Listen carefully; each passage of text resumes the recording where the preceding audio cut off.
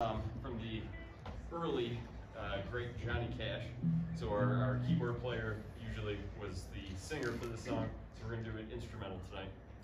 It's gonna feature a solo, um, actually two solos. So the, the original solo by both Hunter and Larson, and then a improv solo by Hunter at the end. So I hope you enjoy Folsom Prison Blues.